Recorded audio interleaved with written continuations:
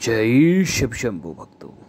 आपका एक बार फिर से हमारे यूट्यूब चैनल अगोरी बाबा के अगोर शक्ति मंत्र और टोटके के अंदर आपका स्वागत है।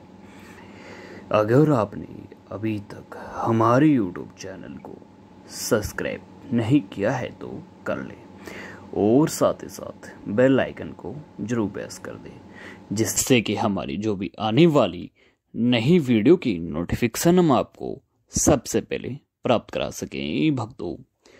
चलिए भक्तों, आज हम जानते हैं, प्याज में कील गाड़ कर करें दुश्मन को पागल। आज हम आपको जो टोटका बताने जा रहे हैं, इस टोटके की मदद से आप अपने दुश्मन को पागल कर सकते हो। सिर्फ़ आपको एक कील और एक प्याज की इसमें ज़रूरत होगी और इससे आप अपने दुश्मन को पागल कर सकते हो। चलिए भक्तों, हम जानते हैं इस टोटके की विधि के बारे में। यह टोटका आपको कैसे करना है और किस विधि से करना है और कौन से दिन पे करना है। टोटका आपको ध्यान रखो, गिरवा, जैसे गुरुवार के दिन या शुक्रवार के दिन, आपको इन दोनों दिन के अंदर ही आपको टोटका करना है। यह तो आप गुरुवार के दिन कर सकते हो या शुक्रवार के दिन कर सकते हो। और यह टोटका आपको शाम की वक्त ही करना है।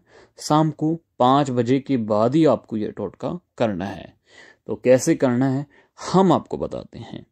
चलिए भक्तों हम हम जानेंगे इस टोटके की विधि के बारे में। यह टोटका आपको किस विधि से करना है और कैसे करना है।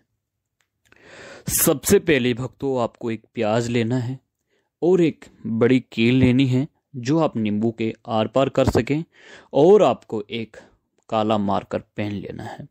काले मार्कर पेन से आपको क्या करना है, हम आपको बताते हैं। जो हमने आपको प्याज बताया है, उस प्याज पे आपको एक छोटा सा मंत्र लिखना है। मंत्र जो है, क्री क्री, ऐसे आपको मंत्र है, जो आपको उस प्याज पे तीन बार लिखना है और उसके साइड में आपको दुश्मन का नाम लिखना है, जिसे आप पागल करना चाहते हो।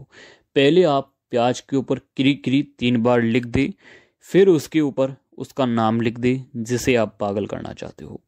और जो हमने आपको कील बताई है, वो कील अपनी मुट्ठी में ले, मुट्ठी में बंद करके अपने दुश्मन का, अपना चेहरा मन में याद रखना है। और आप उसको, क्या आपकी जो मनोकामना है, कैसे उसको पागल करना चाहते हो, वैसे आपको मनोकामना मांगनी है। मनोकामना मांगने के बाद में आपको वो कील पे सात बार फूंक मार देनी है, और सात बार अपने दुश्मन का नाम ले देना है, जिसे आप पागल करना चाहते हो। नाम लेने के बाद में वो कील आपको शत्रु का नाम लेते हुए उस प्याज के ऊपर आर पार कर दे। शत्रु का नाम लेते लेते उसको प्याज के आर पार कर दे कील को। ऐसे करने के बाद में आपको क्या करना है? ये सारी विधि होने के बाद में जो हमने आपको प्याज बताया है, वो प्याज आपको अपने दुश्मन के घर के अंदर फेंक देना है। तो घर के अंदर फेंकने के बाद में यह जो आपका टोटका है, सिद्ध हो जाएगा और आपका जो दुश्मन है, वो पागल हो जाएगा। वैसे तो भक्तों, हमने इस टोटके के अंदर आपको टोटके की विधि भी बता दी है।